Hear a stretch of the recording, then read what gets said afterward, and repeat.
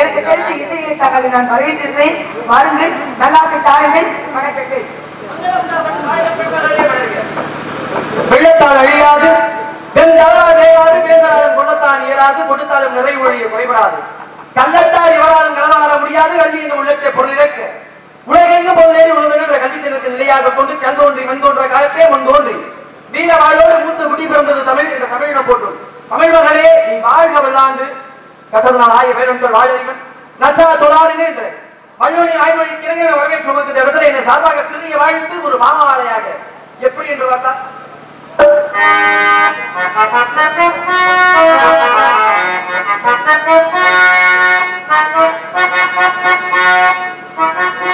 மங்களமாகவே வாழ்வாயமா மங்களமாகவே வாழ்வாயம்மா. மங்களமாகவே வாழ்வாயம்மா. மங்களமாகவே வாழ்வாயம்மா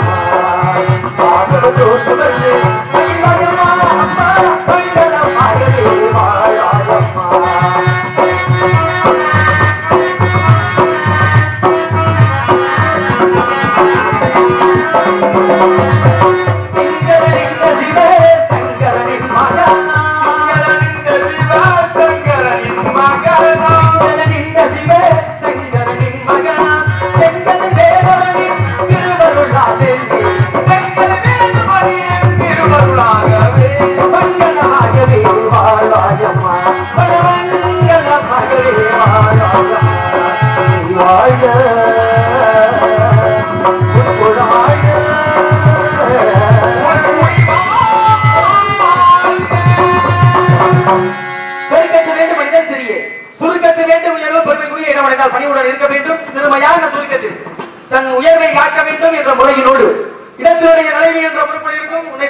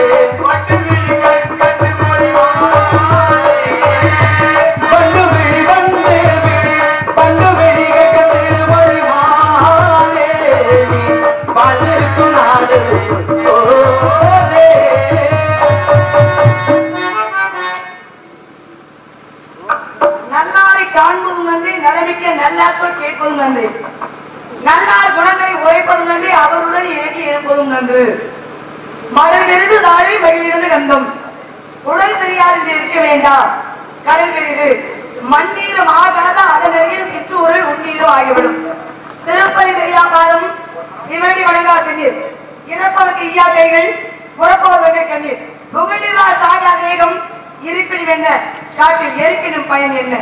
வான்குருவின் தன்போடு வல்லடக்க தொல்கரையான் தேன் சிறப்பு யாவருக்கும் செயலறியாதது வல்லோனை இன்று வலிமை சொல்ல வேண்டாய்த்தான் எல்லோருக்கும் ஒவ்வொன்று எழுது அறிவினா அறியாதனா ஐயவனா கொலைவினா கொலைவினா யாவருவன் ஆறு வகையான வினாக்கள் உண்டு. எழுத்து சொல் பொருள் யாப்பு அணிக்கிறது இலக்கணம்.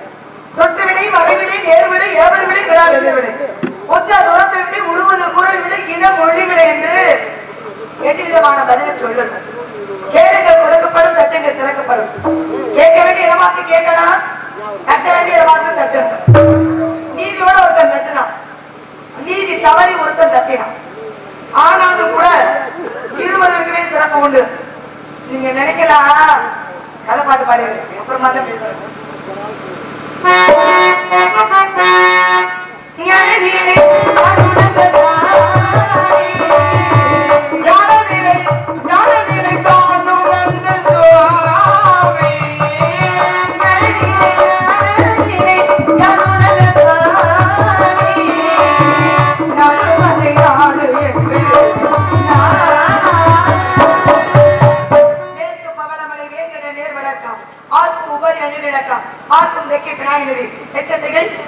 காலம் கொண்டு தோண்டி நாட்டின் எல்லை என செப்ப என்று சொல்வார்களே. நாடு தோண்டி நாடு சுவாமி கதை பாட்டு முடிச்சுட்டு நம்ம பேசுறேன் தொடர்ந்து தொடர்ந்து பாடுறதா பாடுங்க ஒண்ணும் பிரச்சனை இல்லை. இந்த பாடு பாட்டு பாடு. வெள்ளை கவுனப்பட்டியை சேர்ந்த தலைவர் அவர்கள் இங்கே வழியாக நடிக்கும் அருமை சகோதரி. பெரியசாமி அவர்கள் இங்கே வழியாக நடிக்கும் அருமை சகோதரி. வடகுடியை சேர்ந்த பானுபுரி அவர்களுக்கு ஐம்பத்தி ஒரு ரூபாய் அளித்துள்ளார்கள் ரொம்ப நன்றி பெரியசாமி அண்ணா அவர்களுக்கு. ஏன் சார் வெள்ளச்சாமியா? வெள்ளச்சாமி சலூனா. நாங்க மாத்தி சொல்லிடுறாங்க கொடுத்து பெருமைப்படுத்தி அன்பளிப்பு என் சார்களும் கலை குழுவி சார்களும் வெள்ளச்சாமி சலூன் அவர்களுக்கு நன்றி நன்றி நன்றி. நன்றி, நன்றி. ரொம்ப சந்தோஷம். இவ்வளவு நேரம் தூங்காம கொடுத்து உற்சாகப்படுத்துறது ரொம்ப மகிழ்ச்சி மகிழ்ச்சி மகிழ்ச்சி. பசித்திரு தனித்திரு விழித்திரு இந்த மூன்று வார்த்தைகளிலிருந்து முதல் எழுத்த எடுத்தோம் அப்படின்னா என்னன்னு வரும்? பசித்திரு பானா தழித்திரு தானா விழித்திரு வீணா பதவின்னு வரும். ஏன் இந்த மூன்று வார்த்தைகளிலிருந்து எடுக்கணும் பசித்திருனா என்ன? அஹ் பசித்திருந்தா அறிவு பசியோடு இரு. தனித்திருனா தனக்கு இன்று ஒரு இடத்தை பிடித்து விடு. விழித்திருனா எப்பொழுதும் உறங்கிக் கொண்டிருக்கும் பொழுது கூட நான் கட்டவர்கள் ஆடிட்டே இருக்கணும். இருக்கணும். இல்ல. இல்லைன்னு வச்சுக்கோங்களேன் எவ்வளவு தூக்கி கொண்டு போட்டு. அதனாலதான் பசித்திரு தனித்திரு வெளித்திரு. இந்த மூன்று எழுத்த எடுத்த அப்படின்னா பதவி. பதவின்னு ஒண்ணு வரும். பதவின்னு ஒருத்தருக்கு ஒண்ணு வந்துட்டாலே. அவருக்கு என்ன ரொம்ப அவசியம்? ரொம்ப அவசியம் சொல்லுவது வழக்கம். ஆ. ஆனா இதை மதித்து நடக்கணும். சரி. சமையறிந்து பேசு சமயம் அறிந்து பேசு. எல்லாருமே இப்படிதான் பேசணும். அப்படின்னு. இந்நாட்டில் இப்படிதான் மரியாதை கொடுக்கணும் அப்படிங்கிற ஒரு நெறிமுறை இருக்கு. கண்டிப்பா. அதை கணக்கறிந்து அதுல வழிவிலக்கு சென்றது ரொம்ப முக்கியம். அதனாலதான் நான் சொல்லிட்டு இருக்கேன். இந்த பதவி வரும் பொழுது பணிவு வரணும் அப்படின்னா இப்போ சண்டை போற இடத்துல போய் ஐயா பணிவா இருக்கீங்க அப்படின்னு சொல்ல முடியுங்களா? அந்த ஒரு கைய ஓகுறதுக்குள்ள நம்ம என்ன பண்ண அப்படியே கொடுத்துடணும். பகை தீ கடன் இத மூணையும் மிச்சம் இல்லாமல் அழிக்கணும் நம்ம வந்து பகை இருக்குன்னு வச்சுக்கிறேன் ஆமா. பகையிலையும் மிச்சம் வைக்க கூடாது.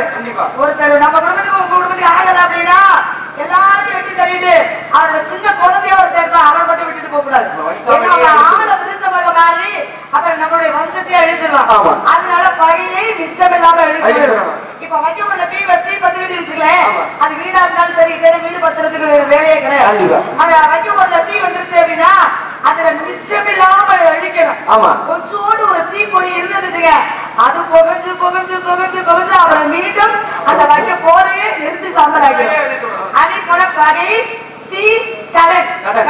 பாத்தீங்களா உங்களுக்கு ஒரு ஐம்பதாயிரம் ரூபாய் கொடுத்து நான் வாங்கி வச்சுக்கோங்க. சரி. அது என்ன பண்ணுங்க மொத்தமா கொடுத்துடணும். அதுல ஒரு நாற்பதாயிரம் ரூபாய் கொடுத்துட்டு ஒரு பத்தாயிரம் ரூபாய். அது வட்டி மேல வட்டி குட்டி மேல குட்டி குட்டி மேல வட்டி போய் ஜோலியா முடிஞ்சது. ரெண்டு லட்சம் ரூபாய் வந்து சேர்ந்துடும் ஆமா. அப்ப நினைப்பாங்க நான் உங்களுக்கு பத்தாயிரம் ரூபாய் தானே கொடுக்குறோம் எனக்கு நீங்க ரெண்டு லட்சம் ரூபாய். அப்போ பகையும் மிச்சம் இல்லாமல் அழிக்கணும் தீயையும் மிச்சமில்லாம அழிக்கணும் கடலையும் மிச்சமில்லாம அடிக்கணும் அப்ப அதெல்லாம் முடிக்கிறது முக்கியமான ஒரு வேலை பதவிக்கு பணிவு வரணும் அப்படின்னா அந்த இடத்துல போய் துணிஞ்சுதான் நிக்கணும். இப்போ நான் பாசத்துக்காக நிக்கிறேன்னு அப்ப பணிஞ்சுதான் நிக்கணும். அது ரொம்ப அவசியம் இல்லையா? கண்டிப்பா. இந்த இடத்துல போய் மண்டையா சாமி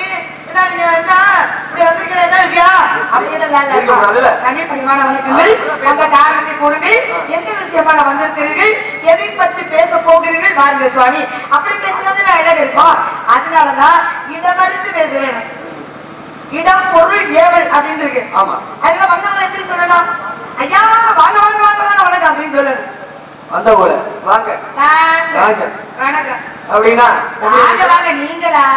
மூப்ப குறைகள் முகத்திலிருந்து நோக்கப்படி- நோவில் குறையும் வருது ஒப்புடன் உணர்ந்து உபசரித்து உண்மையை உப்பியா உபதே மதமாகவும் பணம் ஒரு வாழ நோங்கிறதுவாய் கப்பிய பசியினோடு நீங்க ஊருக்கு எல்லாம் போக போறது கிடையாது. வேகம் இருக்கணும். சரி. ஆனா இவ்வளவு வேகம் இருக்க கூடாது. அதே சொல்றேன் பாருங்க. ஓ நானும் வேகமா தான் சொல்லுவேன். ஆனா புரியுற மாதிரி சொல்லிடுவேன் யார் லோக புள்ளி மறைச்ச முகம் திறந்து. நோக்க குழையும் இருந்து இப்ப சொல்லும் பொழுது இவ்வளவு அழகா இருக்கு. லோக புள்ளி மறைச்ச முகம் திறந்து நோக்க கிடையாது இப்படி சொல்லிட்டோம்னா புரியவே புரியாது. இப்ப வேணா உனக்கு இதுவா சொல்றேன் ஆஹா. உப்புடன் உணர் உணர்ந்து ஆ. உபசரித்து உன்னை பேசி உப்பிலார் குளித்தான் உண்பதை அமிர்தமாகும் உப்பழம் ஒரு வாரணம் முகங்கெடுத்து தருவாராகி கப்பிய பசியினோடு கட்டும் பசியாகும் தானே விருந்தோம்பி ஈழ்வாழ்வதெல்லாம் விருந்தோம்பி வேளாண்மை செய்ய பொருட்டு அப்படின்னு விருந்தோம்பல் அந்த அதிகாரத்துல தான் இதுவும் இருக்கு வந்தாரை வரவேற்பது.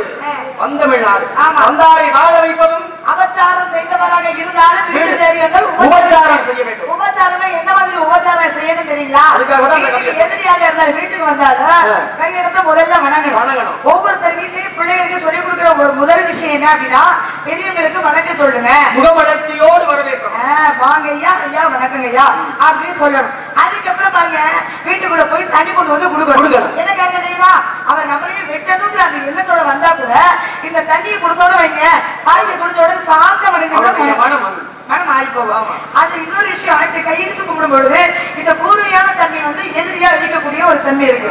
அது நம்ம பக்கத்துல இழுத்துக்கும் நம்மளுடைய சக்தியை வெளிப்படுத்தும் அதனாலதான் கூர்மையா இருக்கக்கூடிய ஒரு தன்மையை கையெழுத்து கும்பிடணும். அப்பெல்லாம் நம்ம நான் வந்து தமிழர்கள் சொல்லி வைத்த பழக்கத்தை நம்ம யாரும். ஆனா கொரோனாங்கிற நோய் வந்தவங்க இப்ப என்ன தெரியுமா கை கொடுத்தா கூட இல்லப்பா வேணாம். அதுக்காக உடனே ஒதுங்கி போய் கையெழுத்து வணக்கம். முன்னாடி அப்படிங்கிற மேல்நாட்டோட பழக்கங்கள் கட்டிப்பிடிப்பதும் கட்டிப்பிடிப்பதும். கை கொடுப்பதும். ஆனா இப்ப நம்ம தமிழ்நாட்டு மரபெல்லாம் மறந்துட்டாங்க. ஆனா இப்ப வணக்கம். சொல்லி கொள்ள விரும்பாங்க. சரி நீங்க வந்திருக்கீங்களே. எந்த விஷயமா இப்படி வந்திருக்கீங்க? ஆபத்து உதவாவில்லை அகமதி கோதாவத அன்னம் தாகத்தை தீராதவே தரித்திரம் அறியாத கோபத்தை அடக்காத வேந்தனும் குருவில் பாவத்தை தீராத தீர்க்கவும் பயன் இல்லை ஏழும் தானே. நீங்க பாட்டுக்கு முக்கியத்துவம் கொடுக்கறது போல இந்த பேச்சுக்கு கொடுக்க மாட்டேங்கிறீங்க ஏன்னு எனக்கு ஏன் என்னாச்சு? இல்லங்க உங்களை மட்டும் இல்ல நிறைய பேரை நான் சந்திச்சுக்கிட்டு இருக்கேன். சரி. சந்திக்கிற வகையில பார்க்கும்பொழுது பாட்டுக்கு எப்படி எல்லாம் முக்கியத்துவம் கொடுக்குறீங்களோ? ஆனா அந்த பேச்சுக்கு கொடுக்கவே மாட்டேங்கிறீங்க. என்னாச்சு? என்னன்னு எனக்கு புரிய மாட்டேங்குது. அதனால நான் உங்ககிட்ட கேக்குறேன்.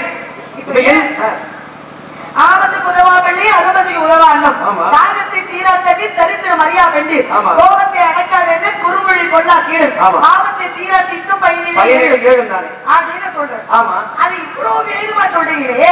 உங்களுடைய வேகமா சொல்றதா உனக்கு பிரச்சனையாமா? இல்லங்க. உங்களுடைய பேச்சை நீங்களே ரசிக்கலன்னு அர்த்தம். பாட்டு ரசிக்கிறீங்க ஆனா பேச்சை ரசிக்க மாட்டேங்கிறீங்க. பேசுறது புரியலங்கிறீங்களா? புரியலன்னு நான் எங்க சொல்றேன். ரசிகர்களுக்கு புரியணும் இல்லையா? எனக்கே புரியலங்கும் போது அவங்களுக்கு எப்படி புரியும்? அதனாலதான் சொல்றேன். இப்போ நீங்க உங்களுக்கு எல்லாம் தெரியும்? நீங்க தெரிய ஆயிட்டாங்க நம்ம பேசுறது கண்டிப்பா சரி. எல்லா விஷயம் மாமா எல்லா விஷயம் தெரியும் பாட தெரியுமா? பாட தெரியுமா. பாட தெரியாம எவ்வளவு நேரம் பாடிக்கிட்டு பேச தெரியுமா? பேச தெரியும்ல? ராமாயணம் தெரியுமா? தெரியும். தெரியும்ல? தெரியும் தெரியும். அப்ப பதினெட்டு புராணம் தெரியும். சரி இதிகாசங்கள் தெரியும். ராமாயணம் மகாபாரதம். சரி குரான் தெரியும். எல்லாமே தெரியும். ஆமா. மேற்கணக்கு கீழ்கணக்கு ஆமா தெரியும். எட்டு பாட்டு? வெற்றி பாட்டு. எட்டு தடவை பத்து பாட்டு? எட்டு. எட்டு. ஆமா தெரியுதான்னு கேக்குறேன். ஆ, சரி. தப்பா பேசினா குறுக்க பிடிச்ச கேள்வி கேட்கணுங்க. நான் தப்பா சொன்னேன் வீடு போடுறீங்க நான் அப்படிதான் சோதனை செய்வேன். சரி. இப்போ நான் என்ன நீங்க சொல்லுவீங்க? தானே வந்திருக்கேன் சொல்லுவீங்க? ஆமா. உங்களை சோதனை செய்யலாம் என்ன? வேணாலும் கேள்வி கேட்கலாம்? கண்டிப்பா கேளுங்க. இருங்க. எதுக்கு கேள்வி இடத்துல நீங்க போறீங்க? இல்லங்க. நான் தான் சொன்னேன்ல. ஆறு வகையான வினாக்கள் உண்டு. அதுக்கு எட்டு விதமான பதில் சொல்லணும்? கண்டிப்பா. இருக்கு. அது கேள்வி கேட்டா பதில் சொல்லணுங்கிற விஷயம் எனக்கு தெரியும். ஒரு உதாரணத்துக்கு பாருங்களேன். எருமை கன்று இறப்பதையே எருக்க இலை பழுப்பதையே. அப்படின்னு இருந்து கேள்வி. ஆனா ஒரே பதில் தான். பால் வச்சிடலாம் ஒரே பதில் தான். ரெண்டு கேள்விக்கு ஒரே பதில் சொல்லிடலாம். ஆனா ரெண்டு கேள்விக்கு மூன்று விதமான பதில் சொல்ற மாதிரி ஒரு சூழ்நிலை வந்துடும் இப்படியும் சொல்லலாம் இப்படியும் சொல்லலாம். சரி, அதனால காரியம் கிடைச்சா வேற வந்து வேலை வீட்டுல. என்ன விஷயமா வந்திருக்கீங்களோ இந்த விஷயமா வந்திருக்கீங்க பெண்களுக்கு உண்டான பருவம் எத்தனை? ஏழு. என்னென்ன? பேதை பெருமை மங்கை மடங்கு அறிவை தெரிவை பேரின்மை ஏழு வகையான பருவங்கள். ஏழு வகை பருவத்துல தாங்கள் அடைந்திருக்கக்கூடிய பருவம். ஆண்களுக்கு பருவங்கள் உண்டு. பாலம் நீலி மரவன் திருவன் காலை விடலை இப்போ ஆண்களுக்கு ஐந்தாவது பருவம் காலை ஆமா. அந்த பருவத்திலும் கல்யாணம் பண்ணுறோம் ஆமா. இப்ப பெண்களுக்கு மூன்றாவது பருவம் மங்கை மங்கை பருவத்துல கல்யாணம் பண்ணணும். அப்ப நாலு மூணு ஏழு ஆமா அப்புறம் இந்த ஞாயிற்று கேளுங்க அப்படின்னு சொல்லி கல்யாணத்தை பண்ணி வச்சாதான் வாழ்க்கையா சுபிட்சமா இருக்கும். ஆனா இன்னொருத்தர் என்ன சொன்னாரு என்ன சொன்னாரு? ஆடாத ஆட்டமும் ஈரத்தில் படிக்காத படிப்பும். மூவத்தில் நடவாத திருமணமும் ஆரத்தில் பெறாத குழந்தையும் ஐயத்தில் தேடாத செல்வமும் ஆரத்தில் சுற்றாத சுற்றும் ஏலத்தில் எடுக்காத ஓய்வும் கிட்டத்தட்ட அறுபத்தி நாலு வயதுக்கு மேல என்னன்னா வாழ்க்கையில் நிம்மதி இல்ல. எங்கே நிம்மதி எங்கே நிம்மதி தேடி பார்த்து. அப்படின்னு சொல்றாங்க. அதனால ஒருத்தர் எட்டுக்குள்ள அடக்குங்கிறாரு. ஒருத்தர் ஏழுக்குள்ள அடக்குங்கிறாரு. இன்னொருத்தர் ஆறுக்குள்ள. அப்ப நம்ம எதங்க எடுத்துக்கிறது? இப்படி எல்லாம் இருந்தாலும் கூட அதெல்லாம் ஒரு பக்கம் அதெல்லாம் எத்தனை நாளைக்கு பேசிக்குவோம் சரி. ஆறு பெருசா அஞ்சு பெருசா நாலு பெருசா மூணு பெருசா ஏழு பெருசா ஆறு பெருசா. பெருசா. அப்படிங்கிறதெல்லாம் இன்னொரு நாளைக்கு பேசுவோம். இப்ப நான் உங்ககிட்ட என்ன கேட்கிறேன் அப்படின்னா என்ன கேட்கிறீங்க? இப்படி காத்தால வந்திருக்கீங்க எந்த விஷயமா வந்திருக்கீங்க நாங்கள் அடைந்திருக்கக்கூடிய பருவம் ஏழு பருவத்துல என்னென்ன நன்றி பருவம். மங்கை பருவம் சொல்ல மாதிரி. ஆமா. மாப்பிள்ள வந்து வந்திருக்கேன். மாப்பிள்ளையா மாப்பிள்ளை பெரிய சிறப்பா தெரிஞ்சா சொல்லுங்க பாப்போம் எனக்கு எல்லாம் மாப்பிள்ளை பார்த்து வாங்குறாங்க உங்களுக்கு ஒரு பொண்ணு கிடைக்கிறாங்க திரும்ப அறுபது இருக்குதா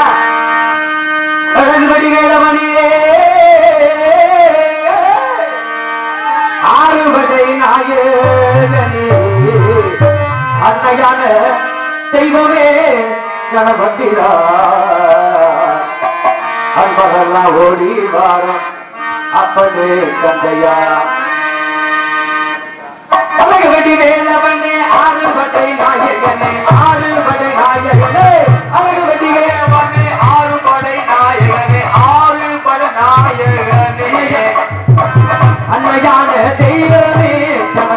கணவத்திடா அன்பரெல்லாம் ஓடி வாரோ அப்பனே கந்தையே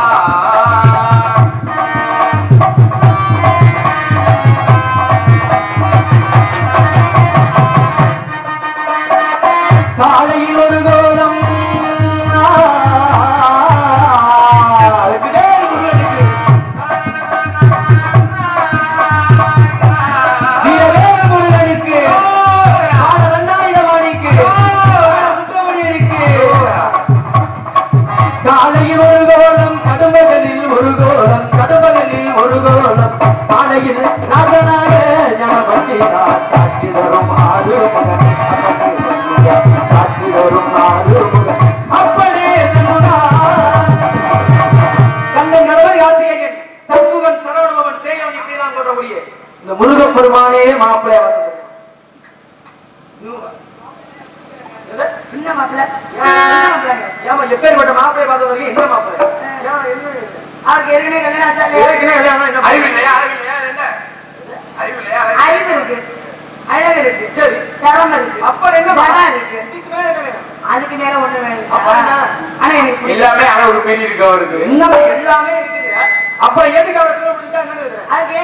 ஏற்கனவே கல்யாணம் ஆச்சுல்ல கல்யாணம் ஆகி போகுது, அதுக்கு என்ன?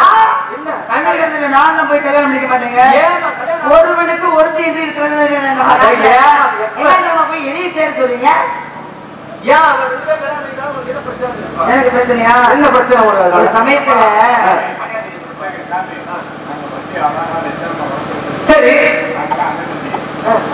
அதனால நாங்க அழகான ஒரு கட்டி கொடுக்கணும் ஒரு எண்ணம் எனக்கு ஏங்க அதனால என்ன கோழியை வளர்க்குறவனைக்கே அடி சாப்பிட. ஆடு எடுத்து சா- அது வரையும் எடுத்துட்டு ஏங்க அவளை அழகா எடுத்து நீங்க தான் கல்யாணம் பண்ணிக்க முடியும்? அடுத்த வேலை கல்யாணம் பண்ணிக்க முடியும்? நாங்க ஏழு பேர் இருக்கோம்? மாப்பிள்ளை பார்த்து என்ன பண்ணி வைக்கிறதுக்கு? அட கால கிரகத்தை ஏழு பேர் வச்சுக்கிறீங்க? பாசமா செல்லமா? வச்சுக்கிறீங்க. பகவானே அக்கா தத்திரிமா பேசாதீங்க.